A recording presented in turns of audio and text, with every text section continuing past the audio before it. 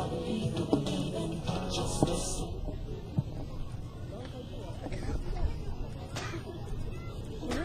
い、えーお待たせいたしました。続きまして、4組目のアーティストさんを紹介したいと思います。えーガングリフォンの皆さんです。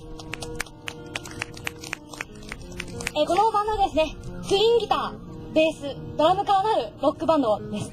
えーギターの独特なメロディーは、ガングリフォンの売りの一つになっています。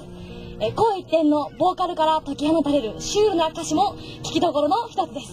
それでは、お聴きください。ガングリフォンの皆さんです。どうぞはい、ただいまご紹介に預かりました、あの、ガングリフォンと言います。あのですね、ちょっと、調子に乗って出ちゃいましたけど、あの、この場にふさわしいかどうか皆さん判断してください。じゃあやります。